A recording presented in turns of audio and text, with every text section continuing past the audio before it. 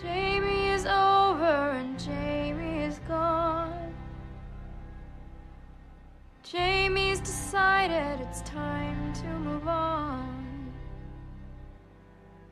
Jamie has new dreams he's building upon. And I feel like I got you guys like if you guys were watching musical, listening to musical is not. It is a review. Uh, by the way, this is Native Thoughts. This is going to be a review for a movie, a, sh- a smaller movie that that surprisingly wasn't a big um, internationally known movie, but it, it, it was a smaller movie called The Last Five Years, and it's a musical starring Anna Anna, Anna Kendrick uh, from Pitch Perfect and Up in the Air, and Jeremy Jordan, which I have no idea what he came out in before bad research.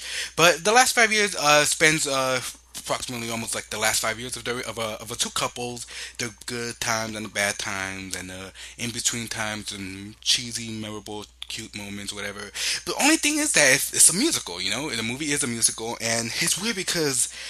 I feel like musicals are dying nowadays because I mean, when you have, I mean, the last musical I could remember just being at the movie theater was Into the Woods not so long ago, and this one, I mean, it has some bad reputation. Not the musical, because it's based off a musical, but the movie has some bad reputation in which uh, it feels kind of like like just um like like it just came out of nowhere, and whoever watched it watched it, and who did, who didn't, and whoever's gonna watch it, and might catch it in movie theater in uh, in VOD or on the on the bin, uh, DVD bins or Blu-ray bin, whatever. And the movie, just, just like I said, it's, it's about uh, two couples spending the last five years. Here's the thing: had no idea when I watched it, it was based off a musical, and throughout the whole thing, I kept, how do you say, I kept giving it a lot of prop to it because I kept thinking it was an original musical and all the music was original. All the music was just uh, hands like they started with the music and then they just worked into the film. And it's not that's not even true. It's based off a musical, but that's what I'm saying. Like it felt original directing it. I mean, the, the, the directing the director felt like it was original. Like you know, I, I mean, I had no idea about this, and um, it's just like it feels weird because like it felt original, but here's the thing like i feel like if you're a, a fan in the musical scene and if you have a beloved for musicals you're gonna appreciate this one because like i said it feels like an original musical. If you had no idea about the musical it feels original. And if you know about the musical you would like it because i hope it stays true to itself. It seems like i mean every scene one it starts off with a musical number. And it feels original and this is like i liked it to a point but there are some parts where i did think it was kind of boring. There were some parts where i felt like it dragged. It felt like it was just uh I say it just felt like it was just out of nowhere, you know. It just it felt like I want I wish there was less music and more uh, written scenes. And there is some a lot there is a lot of written scenes, but not so much. It's mostly everything you end one musical numbers, then you have a like quick less than five minutes uh, uh, you know scripted written scene and then right away you have a dialogue i'm saying and then right away you have into a into a musical number again. And it's it's not bad. The musical i mean the songs i'm not seeing any the songs I'm, i don't have i don't remember any good songs a lot.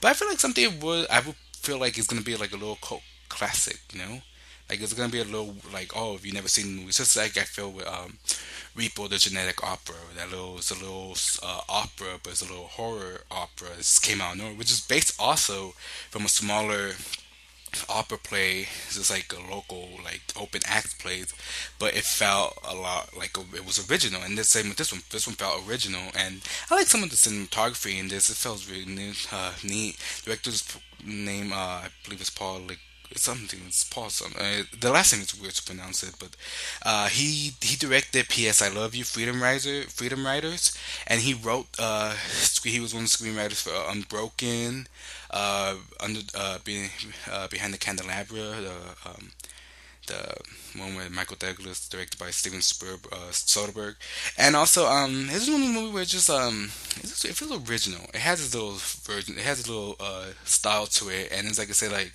uh, one thing I would have to complain is also like besides the musical dragging so much. Uh, Jeremy Jordan, I just felt like he was like, I mean, the guy is talented, but I just, like I've never seen him before. But he's he stands on his own. Anna Kendrick does well. I mean, you've seen her with her musical, and Pitch Perfect was a great movie, and this one, uh, she does okay as well. Um, like I say, if you're a fan of the musicals, you will really enjoy this. Like hands down, it would be something you would love to see uh, if you're in that realm. Because like I'm saying, like musicals are not as current as they used to be. I mean, you have Into the Woods last year around Christmas time, then around summer you had Jersey Boys, was I enjoyed to a point, but I mean, I do understand why a lot of people did not like it.